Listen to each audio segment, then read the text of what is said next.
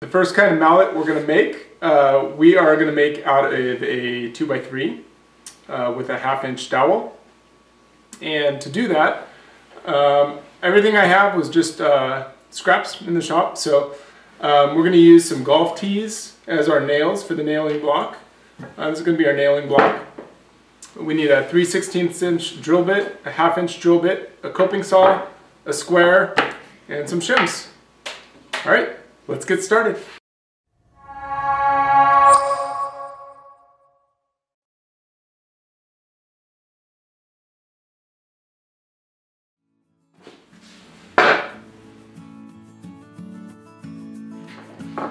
All right, so the first thing I did without uh, the kids, because I used my uh, miter saw, is I took my 2x3 and I cut two pieces out of it at a 10 degree angle, which is going to become our mallet heads.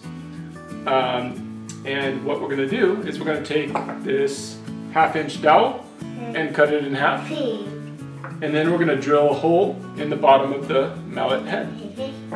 So let's measure.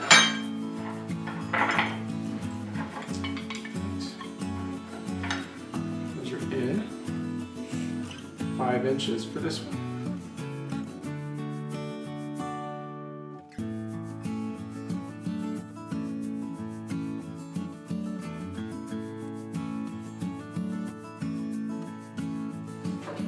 All right, so what we're gonna do is we're gonna make a cut right down the middle of this dowel and about uh, half of an inch down. So I'm going to make a mark. I've already, I've already got that mark a half inch down. I'm going to draw a line up and across the top. It doesn't have to be perfect. We're just kind of eyeballing it here.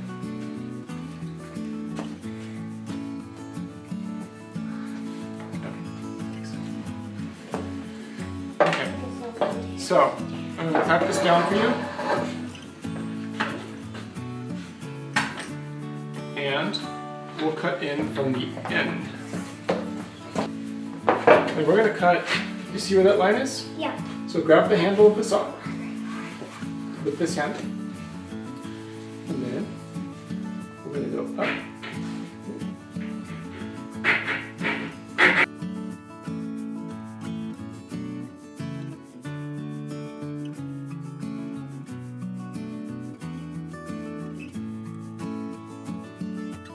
So next, we're gonna mark where we want to drill our hole. So, what I'm gonna do is I'm gonna measure up three quarters of an inch, because that's half inch. So three quarters, we'll put a little mark there. Then we'll cut across here at the one inch mark, right there right where those lines cross, that's where we're going to drill our hole. Oh. Cool, huh? Cool. How do we go do it? How? Oh, we're going to set it in this vise. Oh. And can you tighten this up for me? Um, sure. Just tighten like that.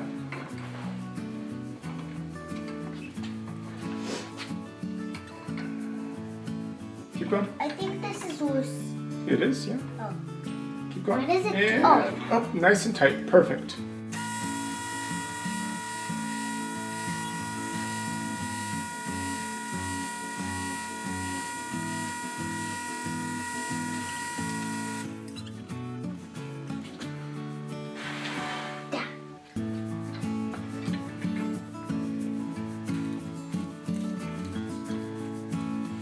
Wow, that hole is amazing. All right, here you go. So now we have the hole drilled and we have our dowel cut for our handle.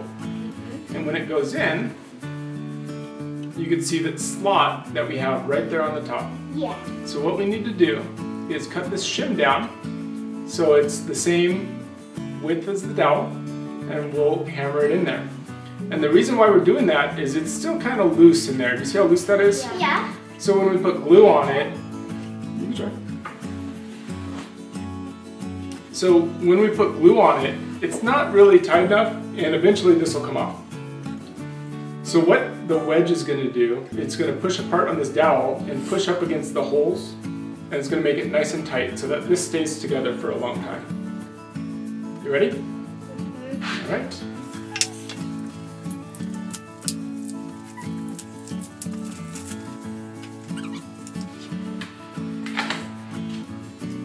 This is the shim. You see how it, it's cut like a wedge at an angle? So we don't need much, we just need a little bit. And we, it just needs to be a very thin amount. So what we're gonna do is we're gonna cut it down.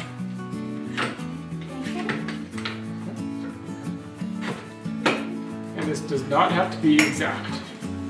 So all I need you to do is right about here, just cut back and forth.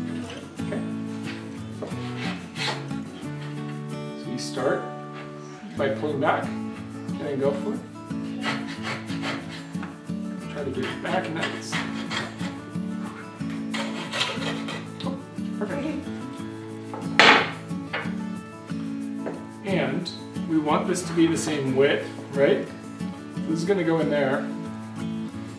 And we could just break it off. Ready? Here, can you break this part down? Perfect. That is exactly it. And now we have a wedge that we're gonna be able to hammer in there. Can, can you squeeze the glue into there just a little bit? Squeeze, squeeze, squeeze. You see the glue coming?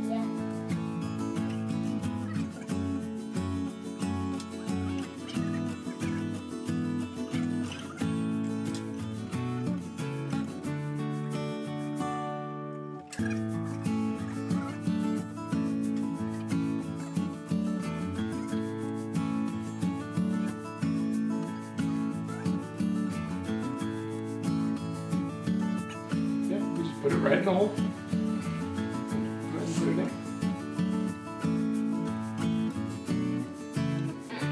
It's hard. And look, you go a little bit more. So push it a little bit further. Until it comes right through. Keep going. Keep going. It's okay. It's really hard. You know, another, you can just tap it like this. Can I? Look, I think we're just a little bit more. Tap it. Okay, perfect. Exactly it. All right. Now glue makes a little bit of a mess, but you know what? It's okay. All right, the next thing we're gonna do is we're gonna take this little skinny tool and just try to get as much of that glue into Can the I? joint as possible. Can I? It's mine. And just kind of shove it in there. Can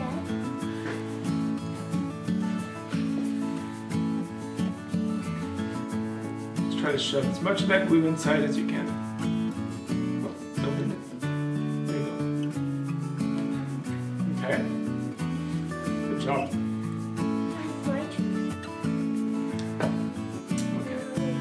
Some of this glue and just wipe it on this wedge. And that wedge is going to go in there. So let's hammer this, but we have to be very careful, okay? So we're just gonna tap, tap, tap. It's okay. It's okay. Is it still perfect? Just tap it till it's flush. And we're gonna let the, see that's nice and tight. And we're gonna let the glue dry.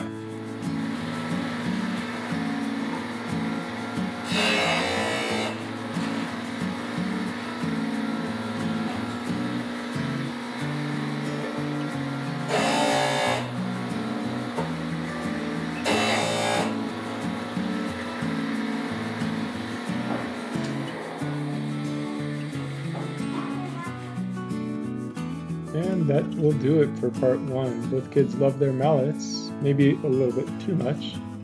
Come back tomorrow for part two, where we will make a different kind of mallet, a nailing block made out of golf tees. And I'll see you then.